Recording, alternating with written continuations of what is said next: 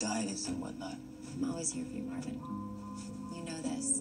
Appreciate that a lot, and I really do.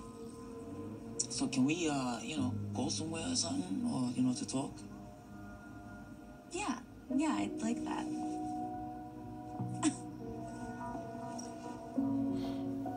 I am really happy to see you.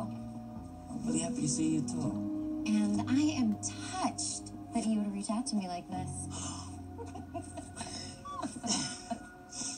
Yo, feel like before, you know, you and me talking only when I had some, had some bad shit happening. So now that I finally got some good shit, you know, good stuff going on, you know, I wanted you to know. That means a lot to me. Because I want to know the good stuff. You deserve the good stuff. You know that, right? Hey, Marvin,